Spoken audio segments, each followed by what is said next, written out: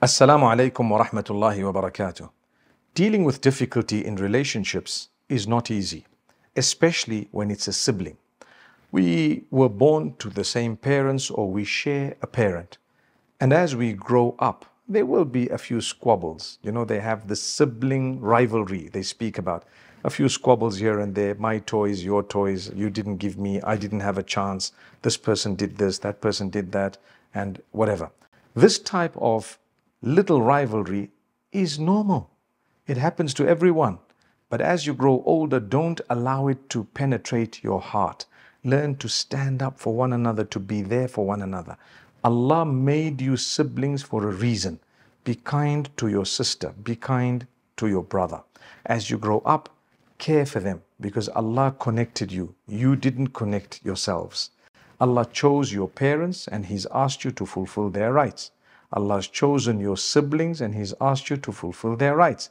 And Allah will choose your children and ask you to fulfill their rights. He might give you a slight say in who your spouse is going to be, but He doesn't give you a say in who your children, your parents, or siblings are. Those are sacred relationships chosen by Allah as a test for you and I. You might have a sibling who might have very bad habits. While protecting yourself from those bad habits, you need to fulfill the rights of your sibling to the best of your ability. At times it might be extremely difficult, but don't be a source of harm or evil towards your own siblings. Remember, we have differences. Like I gave the example of your toys and my toys, and you didn't give me a chance, and so on. As we grow older, sometimes the differences become a bit bigger. People want to interfere in each other's lives. Be careful of that.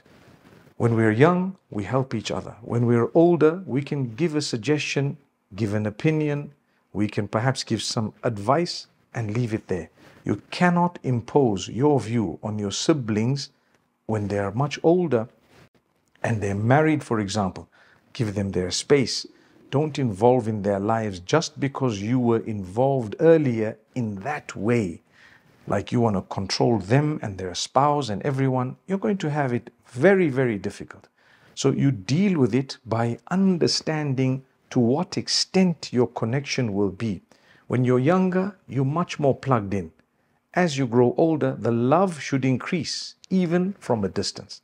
But you're not going to go into their lives and start scrutinizing them and their children and deciding how they will be and how good or bad their wives or husbands are. All of that is going to destroy your relationship. You keep it, inshallah. Allah's given you your family now. You look after your family, your folks, and leave them to look after their folks. You can share ideas, you can lend a hand, you can contribute positively towards one another, you can say a guiding word, you can meet each other once in a while or every so often, depending on where you're staying and how busy you are. But remember, do not contribute negatively in the lives of your siblings because you need that relationship. Allah asks us to fulfill the relationships and the duty we have towards those who are connected to us by blood and by perhaps marriage as well. But we talk about the blood. Allah tells us to connect that relationship. How would you do that if you don't even know them and you don't want to know them and you're not patient with them? So, to be patient with your siblings is an act of worship. Very few get a chance of doing that because some people are not patient at all. They give up at once. And some people don't really have a problem, so they don't really need to be patient. Well, Allah didn't choose you for a certain act of worship. He might have tested you in different ways. But remember, Allah Almighty wants us to deal with this by giving us a reward for solving problems. If it is an act of kindness to solve problems with a total stranger who's a believer, what do you think is the reward of solving problems with those who are not related to us? Uh, sorry, those who are related to us and are actually blood. If the others, we get a reward for trying to solve with them. I speak about a smile. To smile at the face of another, a person you don't know, is an act of charity. What if that's your family member, your sibling, your spouse, your parent, your child, subhanAllah. So learn to be conscious of your expression. Siblings, as we grow older, each one has their own lives. Some find it difficult to marry, some find it difficult to earn. Learn to be there for them in a positive way. I know of people, because they're not married, they keep interfering in the lives of those who are married, dictating what the spouse should do and shouldn't do. You're going to break your life and their lives. And you're going to lead a life where people will be cursing you behind the scenes. Why should that be the case? Learn to be a force of positivity. If you're not married or you don't have wealth, don't just come and claim the wealth of your siblings or don't think for a moment that is mine. You know, I'm supposed to be having. No, we should have a relationship whereby we look after each other without them asking. If your parents are not alive or they're unable and Allah's blessed you with wealth, the first thing you should do, your spouse, your children, your parents, your siblings. That's where it starts Charity begins at home is an Islamic teaching. Because Allah says, وَآتِ ذَا الْقُرْبَى حَقَّهُ Give those who are related to you their due. What is their due? That you look after them. Allah made you connected, like I said, without your choice as a test for you. So go easy on them. Similarly, when we grew up, we made our mistakes, we corrected them, we ended up getting married, some went through a divorce, some struggled to earn, some didn't, and so on. Your siblings will all have their own life charted out and written by Allah subhanahu wa ta'ala. Their destiny is different from yours, and their, their book will be different from yours. So what they get or don't get will be different from yours. Don't for a moment belittle your siblings simply because they are struggling. They might be struggling in one thing, but inshallah, you reach out to them, Allah will grant you holistic growth. Many people like to compare their children with the children of their siblings. That's very dangerous because each child is unique and each child will grow up sometimes at a young age when you're comparing so much you end up destroying the family. And when your child grows up, they're an embarrassment. Do you know why?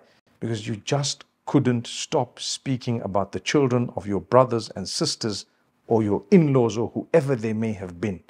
So stop that. To deal with the difficulty, you're going to need to watch your tongue. You're going to need to contribute, smile, commend them, say good words. MashaAllah, you're looking good. Oh, you've achieved. They may not be as bright as your child today, but they could be much more successful in the future than your child who aced all the exams. So it's not about who came first and second in school. It's about whom Allah has favored. And that favor you don't know. So why would you belittle someone? People struggle. Sometimes you find someone has more children. They are struggling raising the children. So some of them might be a little bit unruly and some of them might not be. Uh, given the same opportunities as a child who's the only child or one of two in a family, as compared to the one who has perhaps 10 siblings. It's not going to be easy, but don't let it be a game of belittlement, not at all. May Allah Almighty grant us ease. So, as we grow older, we become more mature learn to visit each other once in a while, depending on where you're living. You're in different countries, different cities, it's a little bit more difficult. Learn to meet each other once in a while and don't overstep your welcome. When you begin to burden someone in a way that you're there every day, all day, saying things, interfering, the spouse is not going to like it. Maybe your sibling might not like it. They may not be able to communicate it with you, but they won't like to see you. Wouldn't you like a relationship where they see you less? But when they see you, they love you to pieces. They can't wait to have you, so on. You should not go so often and don't sit too long. These are golden rules. No matter where you go, if you're there every single day, you may be a burden. And obviously, this is not the case with everyone. Some families are so close knit, they have to be there all the time. And it's just part of their, the way the family is. But when a, when a spouse comes in and others come in, be considerate of everyone. May Allah Almighty make it easy for all of us. I really pray that these few words can help us navigate through the difficulties dealing with difficult siblings, relationships with siblings, and so on. We've only touched on one or two aspects, but the idea is to ponder over it and to look at how we can solve matters in this beautiful season of solution and solving matters. May Allah bless every one of us and grant us offspring who will be the coolness of our eyes, and siblings whom we will be able to cherish well into the hereafter in Jannatul Firdaus. Ameen. أقول قولي هذا وصلى الله وسلم على نبينا محمد والسلام عليكم